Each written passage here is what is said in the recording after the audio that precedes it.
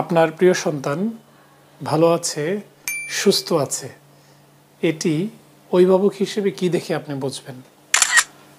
আজকের এই ভিডিওতে আমরা জানব হাসি কান্না কেন এত গুরুত্বপূর্ণ ইন্ডেক্স সুস্থ থাকার? আপনার বাচ্চাকে খুব মেজাজ গরম হয়েছে, আপনার একটা থাপ্পড় দিলেন, আপনার বাচ্চা চুপচাপ আছে বা হাসতেছে। আপনার বাচ্চার মানসিক বিকাশ খুব ভালো হয় নাই, এর প্রমাণ হতে পারে এটি। আপনার সন্তানকে থাপ্পড় দেওয়ার পরে কান্না করতে হবে, এটাই স্বাভাবিক রিফ্লেক্স।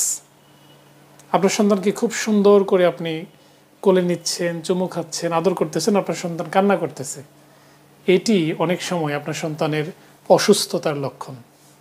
বাচ্চা ভালো পরিবেশে কোঅপারেটিভ পরিবেশে উৎফুল্ল থাকবে, হাসবে, এটি সুস্থতার লক্ষণ। বাচ্চাকে শাসন করলে, রাগ দেখালে, আর চোখে তাকালে আপনার সন্তান ভয় পাবে, কান্না করবে, এটাই স্বাভাবিক। আপনার সন্তান থাপ্পড় দেওয়ার পরেও কান্না করতেছে না। অভিভাবক হিসেবে নিশ্চিন্তিত থাকার কোনো কারণ না। আমি চেম্বারে একটা পেশেন্ট দেখলাম, বলতেছে, স্যার, আমার বাচ্চা ছয় মাসেও একদিন কান্না করে না। আমি বললাম, এটা আপনার প্রবলেম হতে পারে বাচ্চার। অবশ্যই আপনার বাচ্চার থাইরয়েড হরমোন ইভ্যালুয়েশনটা জরুরি। অন্যান্য প্যারালাল কিছু ইভ্যালুয়েশন লাগতে পারে পরবর্তীতে। আপনার সন্তানের হাসি হোক প্রয়োজনীয়, কান্না হোক প্রয়োজনীয় এবং নিয়মিত।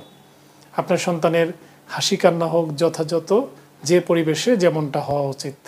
ডাক্তার শফিক, আজ এ পর্যন্ত। আল্লাহ হাফেজ।